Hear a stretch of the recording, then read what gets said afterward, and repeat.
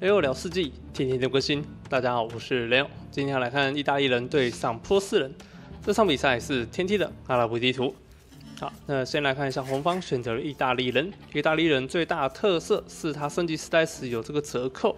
那再来就是他的保兵呢是热那弩手。热那弩手这个单位呢可以对抗对方的骑兵哦，像是游侠、骆驼或者是骆马，哦都有有效的打击哦。哦，甚至这个大象也可以。那意大利人的后期组成通常是打这个佣兵配上热那弩手，还有自己的呃步兵啊，就是佣兵的系列。当然骑兵部分也可以打，但是它只有重装骑士。但很 OK 的是它有品种跟三级防，所以它的肉马跟重装骑兵系也是一个不错的路线。基本上想打想打什么路线都可以，啊，就是有点看你自己的判断。好，接下来来看一下青色是选择了波斯人。波斯人最大的特色是它的。城镇中心的工作效率会有一直提升的效果。那在城堡时代来说，它的提升效果是最明显的时候，因为它是随着时代去递增它的这个加成，工作效率的加成。那后期的波斯人呢，都是打一个骆驼或者是游侠。好，那步兵的话可能会比较弱一点，因为它只有长剑兵。工兵路线的话，可以打无限工兵的啊，只要点下银冠之后，波斯工兵只要需要耗费木头就可以使用。好，也不需要耗费黄金啊，所以后期通常都是搭配个什么骑兵、游侠、骆驼，然后弩兵啊，做一个搭配的。那波斯也有一个，它还有比较特色的东西是它有大冲车。那它有大冲车的话，其实就很适合打这个步骑作战啊。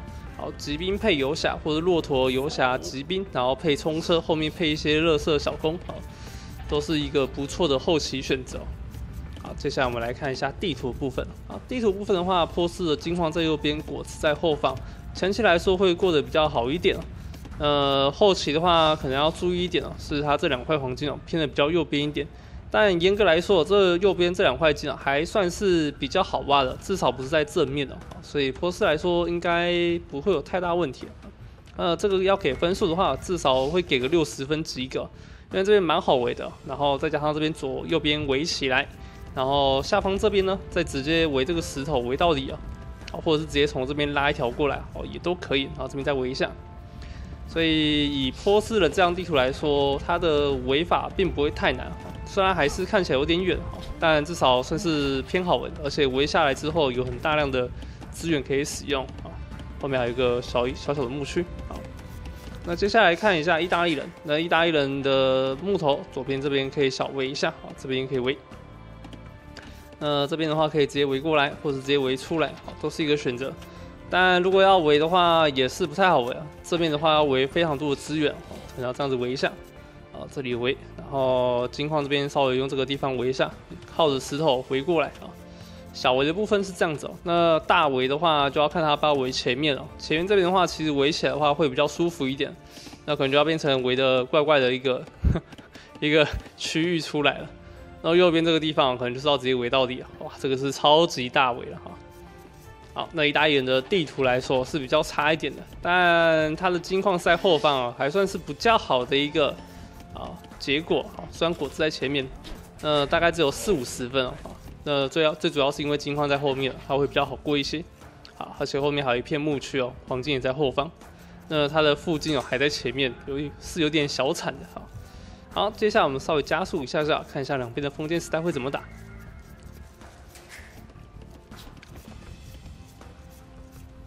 好，这边看到波斯人三帮帮走了出来，这边拉了一些村民，七村继续伐木。这边三帮帮开打，斥候稍微拉一下。好，后方稍微围死，这边也是。OK，那这边要先下个军营，待会有可能会走工兵路线。三棒棒的话，很有可能哦，这个波斯人会上装甲步兵的升级那就要看一下我们的挖金哦，这个金矿赶快挖才可以及时升级。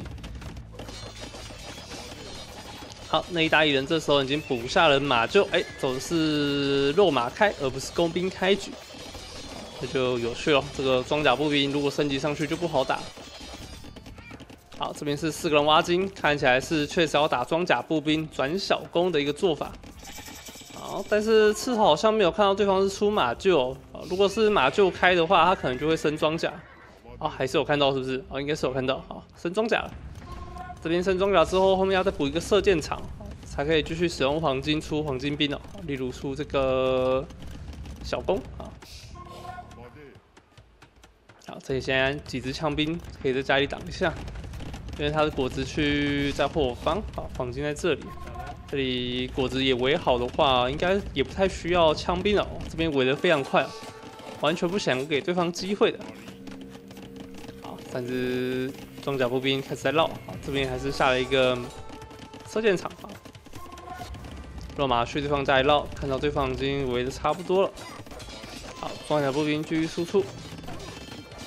由于这边黄金还没有开始挖的关系哦，所以只能先下个毛兵。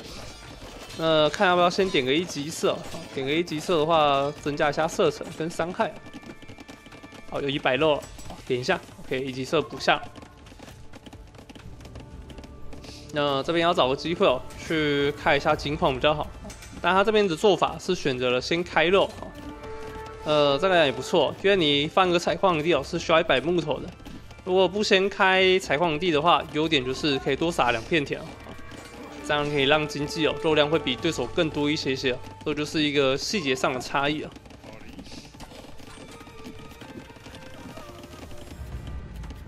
好，那两只刺猴就去探，但是没有出更多刺猴，单纯就是来骚扰。哎，但是这边有抓到两村，是不是？哦，三只刺猴抓到两村，还是更多啊？哇，四村是不是？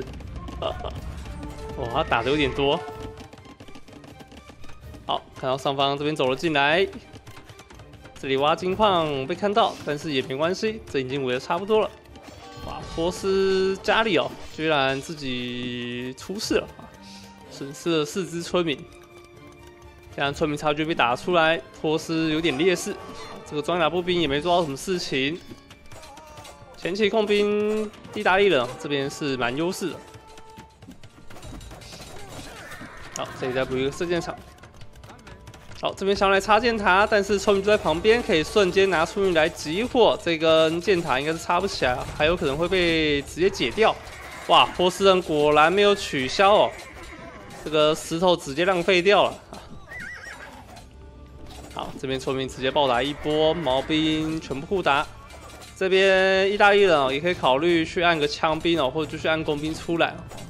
虽然这边他很想要点城堡 style，这边是资源量是可以点的。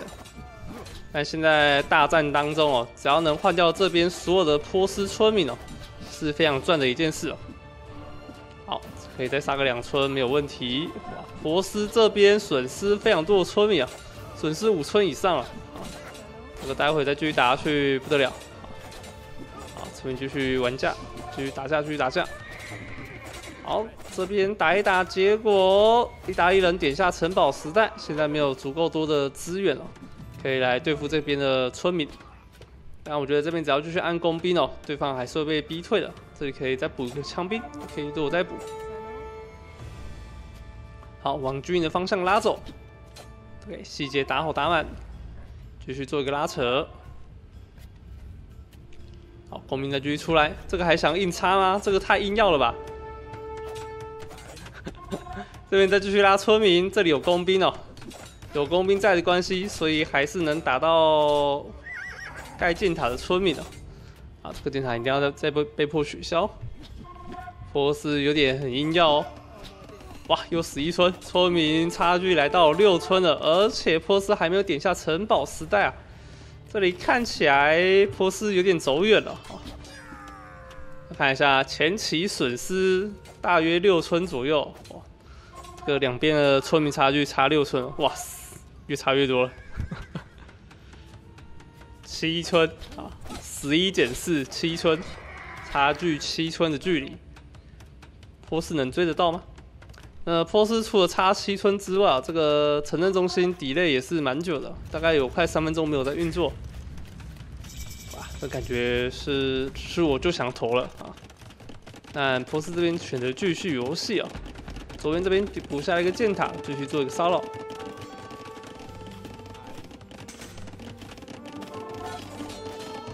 好这边有围死，应该是还行。好，这边是小围围过来而已。哇，这边没有围死的关系，刺头还是溜了进来。这一波进来没有关系，反正骑士也快好了。这边刺头能够杀到一村吗？可以，拿下。这边围的速度还是很快，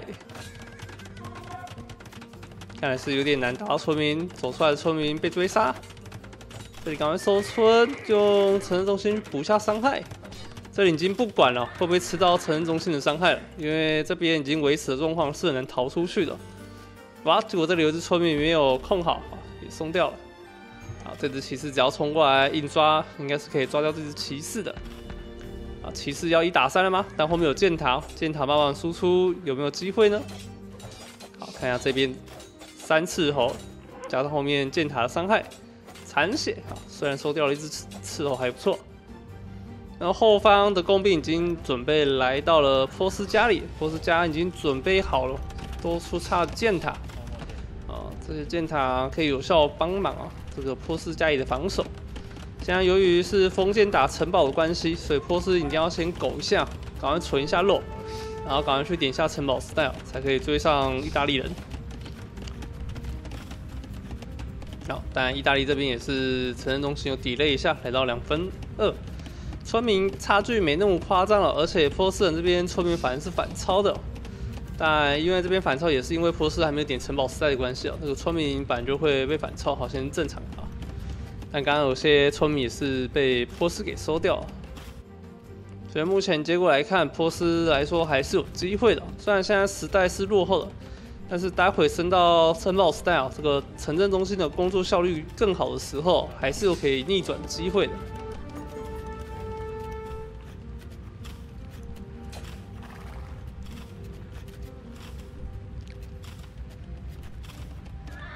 好，这边损失一只刺猴，回来救一下。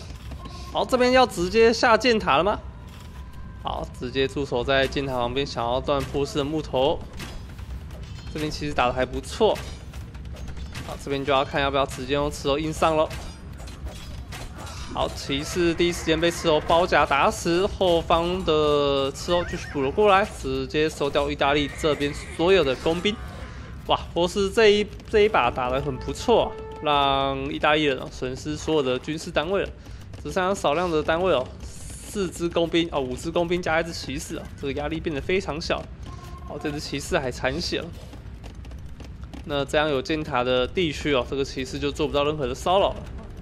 那我觉得这一把波斯打得很漂亮，即使前期的强压失败了哈，但至少还是有打出自己的身价哈。好，稍微加加速一下下。那意大利人这边赶快升到城堡时代之后，可能赶快去挖石头，再买一百石头，把城镇中心开这里啊。好，待会可以继续来挖这边的木头，或者是挖石头开农都可以。赶快盖出地洞城堡，去转出自己的热那努手会比较好一些哦。当然，这个时时间点哦，至于出工兵也是可以的。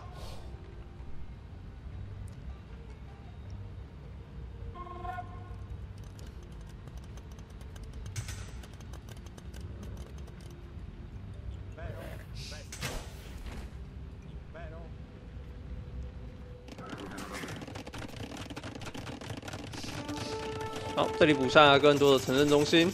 好，第三个果然开在石头区。呃，这边看到工兵铠甲已经升级了，波斯这边转出了轻骑兵跟二级马铠啊，这边防御也是升的蛮快的。那先看轻骑兵可能是想要防对方出僧侣，或者是想来抢圣物，所以待会应该会先补一个修道院，然后赶快来用这个轻骑兵哦去抢夺圣物。哦哦，这边生气骑兵是因为刺我出太多，不好意思，我忘记了。他前面刚刚出了蛮多的。好，生气骑兵之后有二防，抗箭能力还不错。这个城堡能盖起来吗？哎，结果波斯反而是来主动盖城堡那一方。那由于现在城镇中心已经落后了，如果这里不伤到对手经济哦，波斯是完全没有机会可以打赢的。好，这边城下一栋城堡，控下意大利的石头。好，这边直接做一个包夹，工兵没有退路可以走，直接损失了一些弩兵的数量。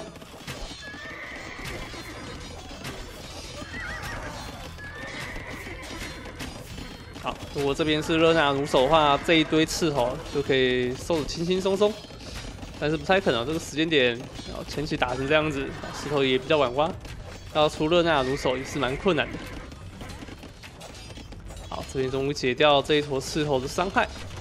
这坨刺猴解完之后，正面有补下第二栋的木门。好，但城堡已经盖好，这边可以考虑出冲车哦，直接先顶掉这些马厩啊、射电场，这边再开一个路进去哦，也是一个不错的选择。毕竟这个范围内哦，有这个城堡防守，冲车不会被轻易的村民给拆掉。这边我觉得出冲车就可以了，冲车然后再配一台投掷车，后面开始冲撞后方的经济。好，这里补下一栋城堡，这个城堡待会可以产出热那亚弩手，应该就会稍微挡住波斯的攻势。好，那目前双明差距是有意大利人八十村领先波斯人六十村。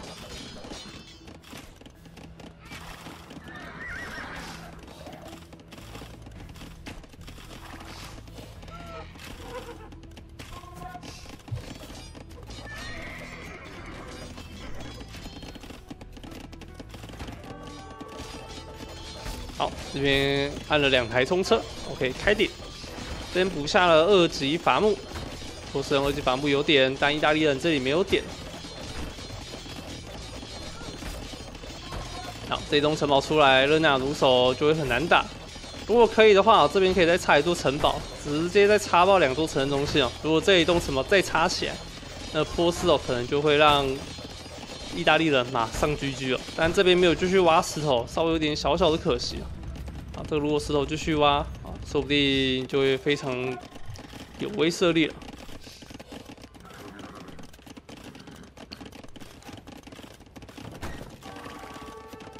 好，这边直接骑士进去爆了一波，开始屠杀里面的村民，两台冲车继续顶。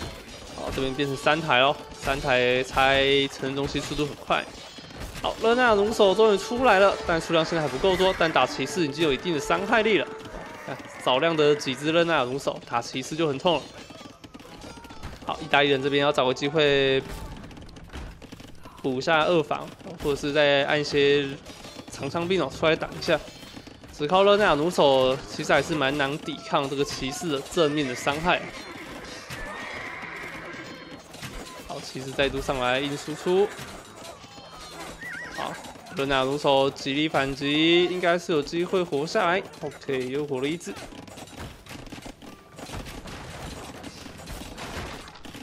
好，村民解掉了冲车，这一波波斯打的有点成功啊。虽然自己冲车解掉了，但至少经济差距有点拉近了。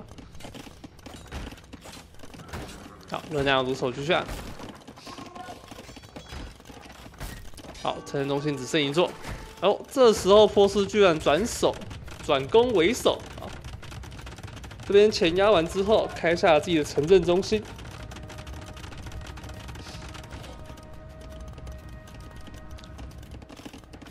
好，上方骑士有继续出。好，这边开始转投石车。这边看到热那亚弩手的话，冲车是没法解的。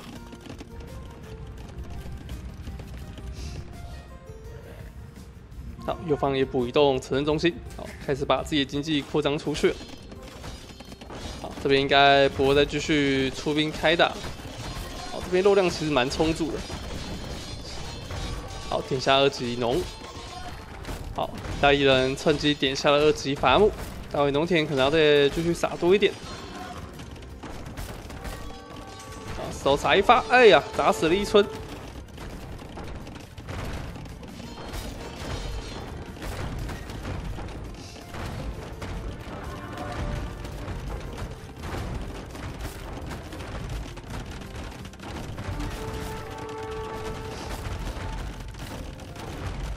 好，这边换一下。哎呦，残血！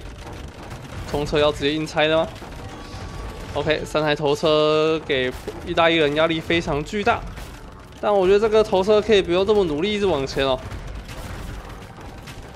哇，这边想要隔开对方骑士，但没有隔成功，头车还是被打掉。哇，这个头车还在砸，这边操作秀的还不错。冲车可能赶快再砸一发就搞定。好，接下来只要搞定东西就只有投石车而已了。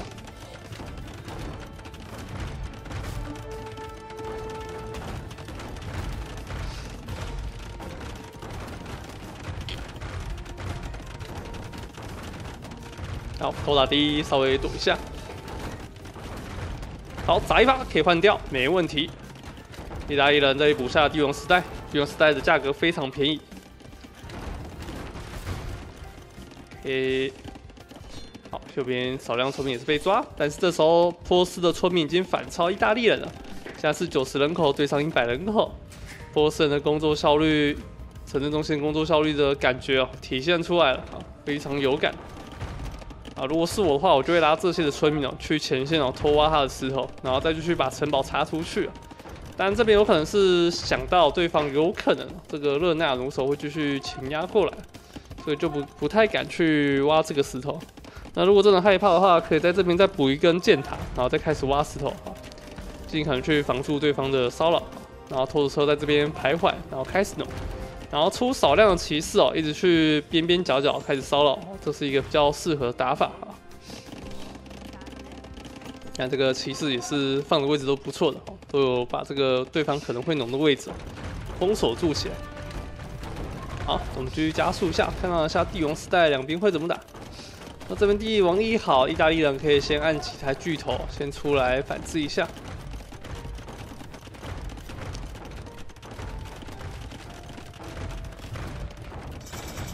好，城镇中心看起来直接被解光，意大利人只剩下两座城镇中心后面补的，原本的三座都没了。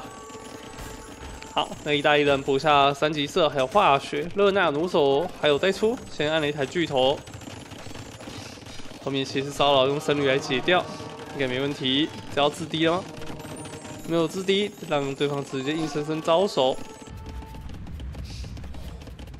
哇，怎么那么多人没在工作？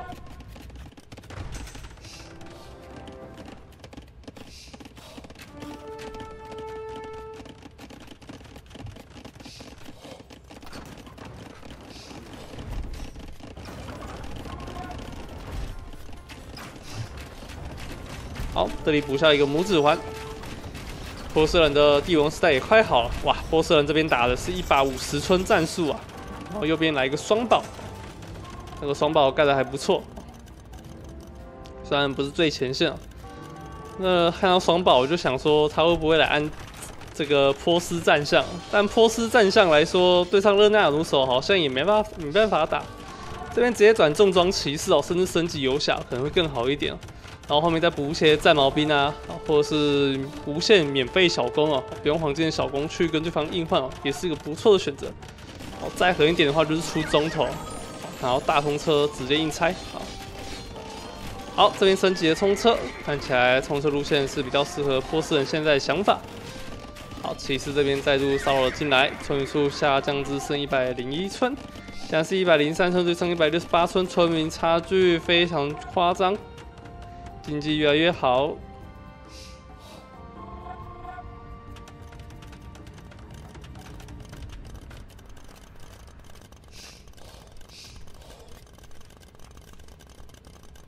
好，这里补上了一个帝王时代，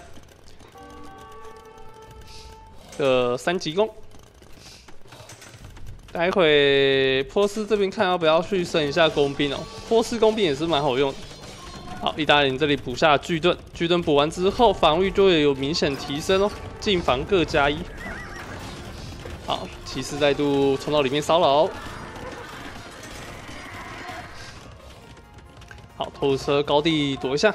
那右边这两个建筑物也是拆掉了，三巨头慢慢走了出来。游侠还有一分钟，波斯这里游侠能够打得赢热那亚弩手吗？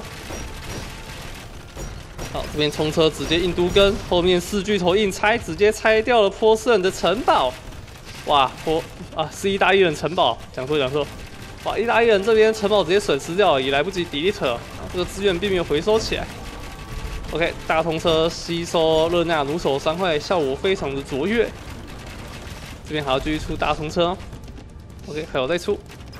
OK，人口还是两百人口，所以这边可能需要损失一些村民哦，自自低村民一下，然后转出更多的军事单位哦，才比较 OK 一些。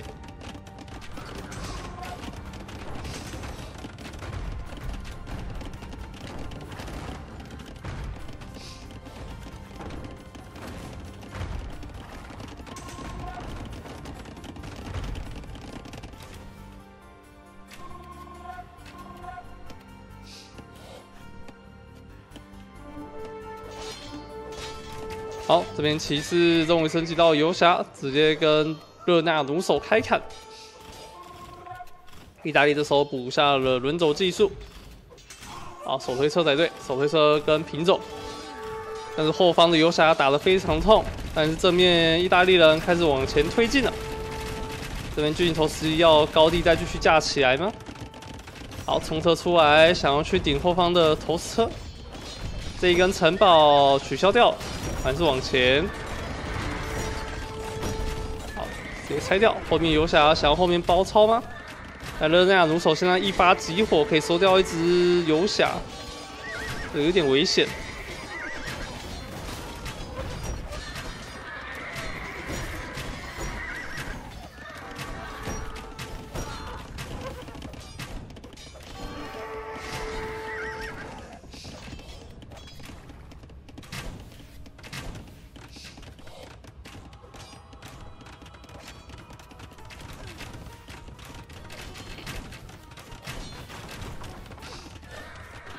好，意大利人这边来到三十六只热那亚弩手，但是波斯这边冲车越来越多喽，五台冲车，好，左边石头也被挖，结果意大利人这边打出了巨巨，村民差距来到越来越多，这边损失太多村民了，村民是差距七三村打一百五十六村哦，哇，那这一场没有想到波斯前期损失了这么多村民哦，后期还可以打回来，甚至村民反超。那后期的这个城镇效城镇中心的效率实在是太好了，五个城镇中心让波斯的工作效率直接达到了顶峰，经济甚至反超了回去哦。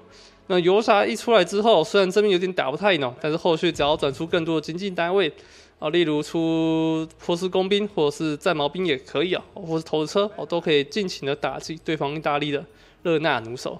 所以玩热那弩手的时候，也是要注重自己的经济哦，然后还要搭配一些近战单位哦，例如佣兵哦之类的单位哦，去拆对方的工程器哦，会比较好一点哦，甚至当成弱盾也可以啊。所以尽量不要只打这个单一兵种。那我们在之前比赛有看到，意大利人都是比较适合配重装长枪兵的，因为没有骑兵的关系，配一些枪兵，然后加上热那弩手，然后自己再出些大落马去后排骚扰，哦，或是出些佣兵到后排打都可以哦。好，来看一下经济的部分哦。经济部分是由波斯人拿下了食物的胜利，那哇，几乎赢两倍。黄金则是赢六千，石头也是赢了两千，赢的资源都是非常多。明明前期输的非常惨，你看这个线条啊，差距是有点被压制住的。但是到了后期哦，直接起涨啊，这跟台股的走势有点像。来，这个这个是什么？疫情大崩跌，然后突然一个急拉啊，经济直接起飞。这个有点真的有点像，然后后面又突然慢慢跌下来，然后后面又开始起涨啊。这个波斯人就玩起来就是就是该有这种曲线了。这个经济都要挤拉才是正常，因为这个城镇工作效率啊太好，村民实在太多，经济自然就会非常好。好啦，那么今天影片就差不多到这。那如果喜欢这支影片，请记得帮我下订阅，我们就下次再见喽，各位拜拜。